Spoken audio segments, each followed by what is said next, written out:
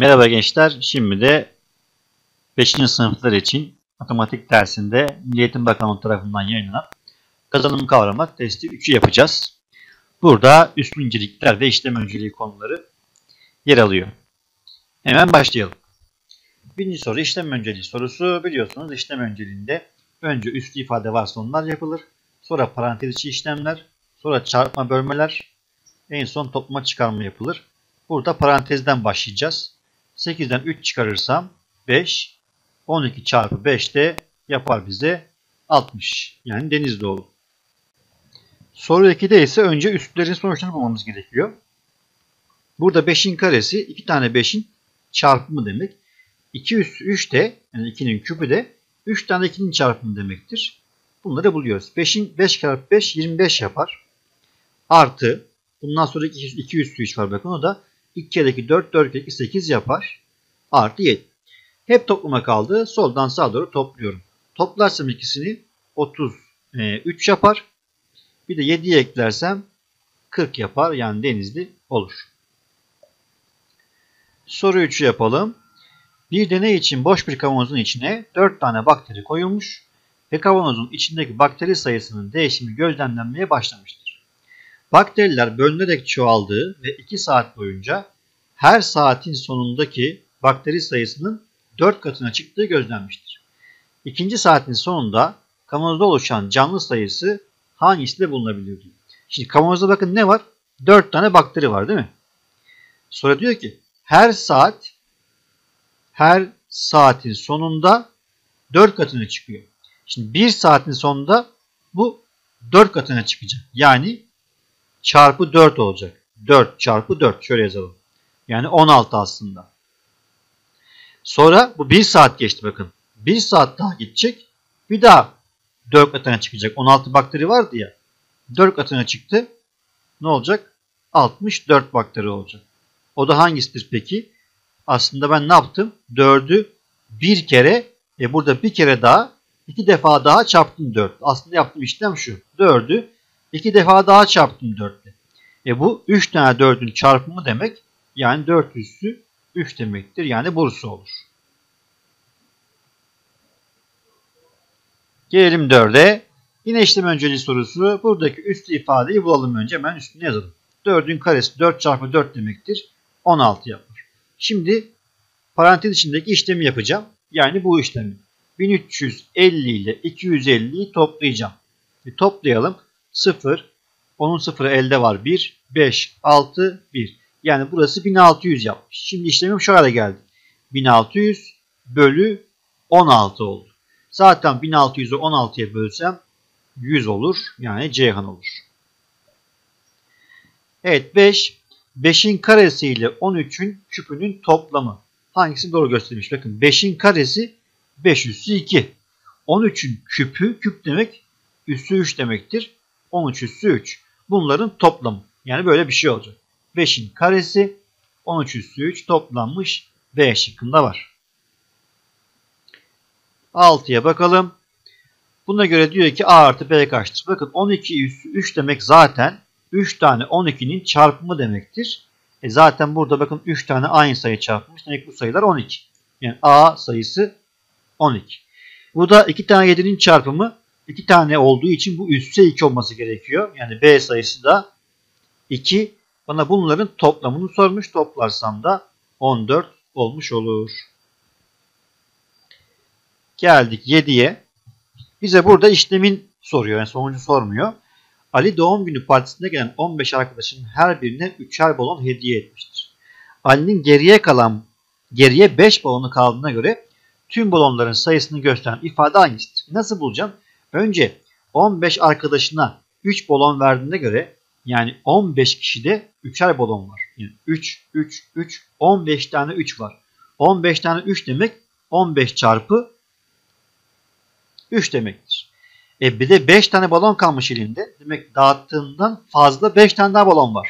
Toplam balon bulurken ne yapmam lazım? E dağıttıkların artı 5 tane daha. Demek ki hangi işlem oluyor bakın? Ceyhan'daki işlem oluyor. 8'e bakalım. Ahmet'ten 20 tane daha bilyesi olursa bilyelerinin sayısı 5'in küpüne eşit olacaktı. Şimdi düşünelim 5'in küpü. 5'in küpü yani üssü 3. 3 tane 5'in çarpımı demektir bu. 5 kere 5 25 yapar. 25 ile 5 bir daha çarparsam 125 yapar. Demek ki 20 tane daha olsaydı 125 olacaktı. Demek ki 20 tane az elinde. O zaman ne yapacağım? 20 tanesini çıkaracağım. Demek ki 105 tane bunda bilye varmış. 20 tane daha olsaydı 125 olacaktı. Yani 5'in küpü olacaktı. Bakalım 9'a. Hangisinin sonucu iki basamaklı en büyük doğal sayıdır? İki basamaklı en büyük doğal sayı kaçtır? 99 değil mi? Onu da buraya yazalım. İki basamaklı en büyük doğal sayı 99. Peki önce burada A'dan başlarsak şuraya ben A'nın işaretini koyayım. Önce parantez içi toplamam lazım. Bu ne yapar? 25, 8 daha 33 yapar. Yani A işleminde 33 çarpı 3 oldu. E, toplar çarparsam bunları tabii ki e, 99 yapacak. Hangisi A şıkkı zaten olmuş oldu. Geldik soru 10'a. Nehir 48 basamaklı bir merdivenin yarısını ikişer adım, diğer yarısını üçer adım atarak inmiş. Yani 48'in yarısı demek ikiye bölünmüş değil mi? Böldüm.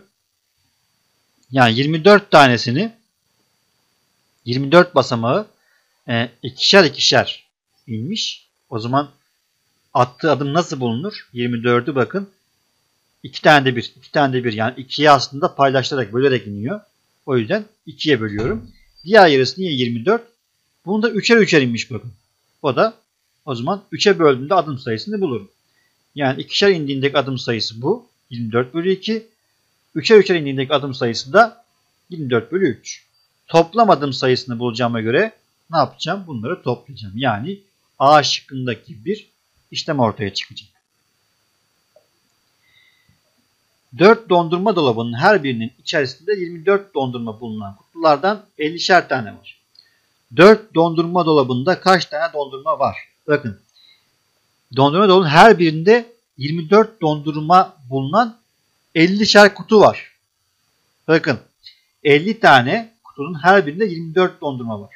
Yani bir kutuda e, 24 dondurma varsa 50 kutuda çarparak bulurum. Yani 24 çarpı 50'den toplam 50 kutunun içinde kaç tane dondurma olduğunu bulacağım. Çarpalım. 0, 0, 5 kere 4, 20, elde var. 2, 10, 12. Şimdi ne oldu? 1200 tane dondurma var ama bu bir dolap için. 4 tane dolap var. Ne yapmam lazım? 1200 ile 4'ü tekrar çarpmam lazım ki 4 tane dondurma dolabında kaç tane olduğunu bulalım. Zaten bunlar 0 yaptı. 4 kere 2 8, 4 kere 1 4.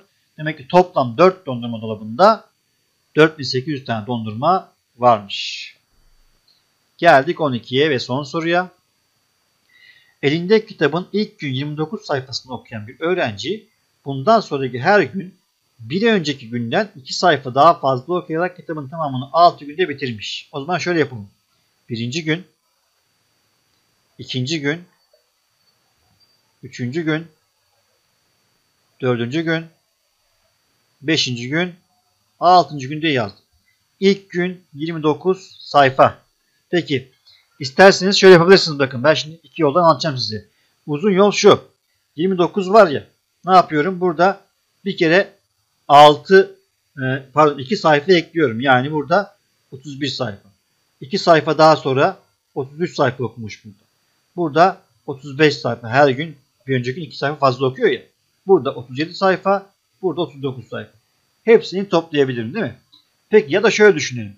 Bakın burada mı 2 sayfa eklen? Burada mı 2 sayfa daha eklen? Burada 2 sayfa daha değil mi? Burada 2 sayfa daha, burada 2 sayfa daha. İsterseniz bakın 29 yani her biri 29 olsa bir de 2, 4, 6, 8, 10 sayfa daha fazla var. Bu da olabilir. Ben şimdi alttakileri hazır yazmışken bunları toplayarak bulacağım. Önce bakın onlukları toplayalım. 30, 60, 90, 120, 150, 170 var. Şimdi birlikleri topluyorum. 9, 10, 13, 18, 25, 9 daha 34 de burada var toplarsak 204 tane sayfa olmuş oluyor. Yani Bursa oldu. Evet böylece bitirdik ilk sorumuzu. Yani ilk testimizi pardon. Üçüncü testimiz daha doğrusu. 12 soruyu bitirdik. Tekrar görüşürüz. Herkese iyi çalışmalar.